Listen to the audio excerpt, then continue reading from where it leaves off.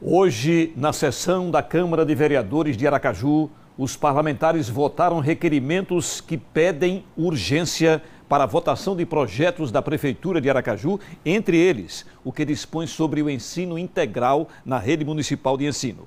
Já na Assembleia Legislativa, a polêmica sobre os limites dos municípios de Poço Redondo e Canindé de São Francisco foi um dos temas discutidos na sessão desta terça-feira. Na Assembleia Legislativa, a sessão contou com casa cheia, mas sem votação no dia. O que repercutiu entre os deputados foi o pedido de ajuda de moradores e parlamentares do município de Poço Redondo para impedir que o município, que tem pouco mais de 35 mil habitantes, perca 30% do seu território para o município de Canidé de São Francisco. Só para que fique claro para a população de Sergipe e de toda a região de Poço Redondo, nós, se essa decisão for mantida, nós perdemos os povoados. Cajueiro, Grota do Angico, foi lá onde matou, mataram Lampião.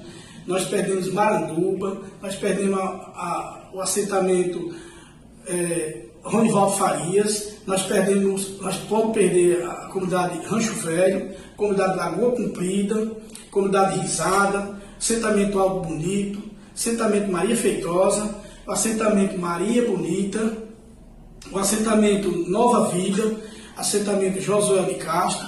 Nós estamos pedindo que todas as autoridades, tanto do município como do Estado, nos ajudem. Fazendo também um apelo à nossa Assembleia Legislativa, ao nosso deputado, para que nos dê uma ajuda, que nos dê força nós nesse momento. E o nosso governador Fábio Tidieri, eu confio muito no nosso governador e espero também que eles nos apoiem nesse momento que Poço Redondo está vivenciando. Existe uma ação já na Justiça, movida pelo município de Canidé contra o município de Poço Redondo. Canidé diz que tem direito a praticamente 30% da área territorial de Poço Redondo.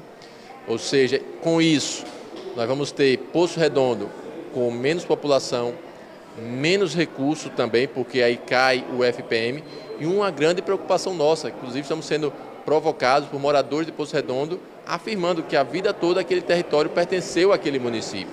E aí é importante que a Assembleia Legislativa, através da sua comissão responsável por essas questões de divisas entre municípios, ingresse também para poder ali, pelo menos nesse momento, conciliar, buscar uma solução amigável e que nenhum nem outro venha perder a sua identidade. A questão da divisa dos territórios está judicializada, mas pode ser resolvida com um estudo de regiões. Na Alese, esta é uma medida que pode ser colocada pelos deputados para evitar danos à população mais prejudicada. Tem uma lei federal que dá poderes ao IBGE para fazer todo esse trabalho com os entes federados ou seja, uma comissão aqui da Assembleia Legislativa que trata dos limites intermunicipais. E a gente já vem fazendo esse trabalho.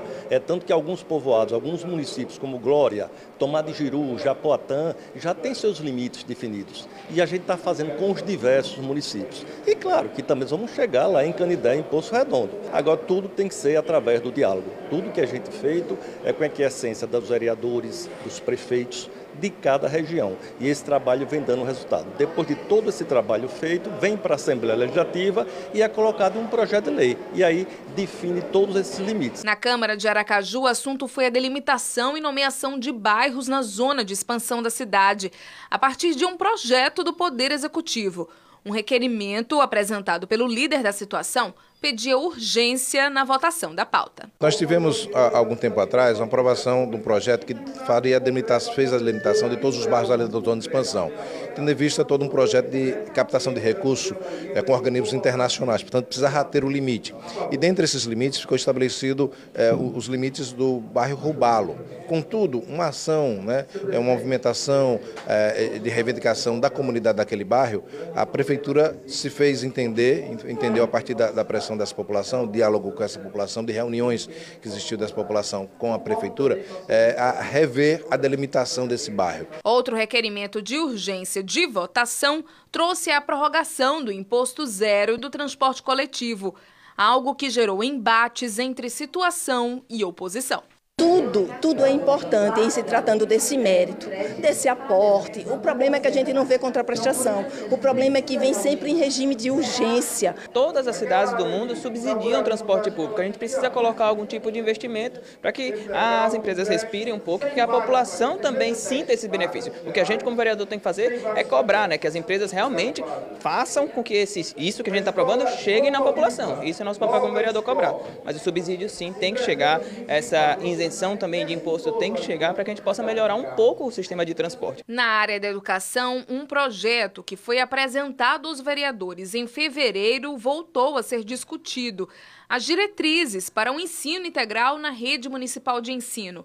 O PL passou pela primeira votação. No que diz respeito a todos os critérios para estabelecimento das escolas de tempo integral, para que os professores pleiteiem é, a participação como professores dessa escola de tempo integral. Nós apresentamos duas emendas que na manhã de hoje nós já consensuamos com a liderança na Casa Legislativa. As emendas, elas tratam da questão eh, do professor que está em estágio probatório, porque no projeto original ele não poderia se inscrever para participar eh, do, da, do processo né, da escola em tempo integral. Nós já eh, negociamos essa emenda e a outra é em questão à carga horária. Os professores e professoras que têm dois vínculos no município de Aracaju, eles não poderiam também é, concorrer às vagas para as escolas em tempo integral ou a escola em tempo integral.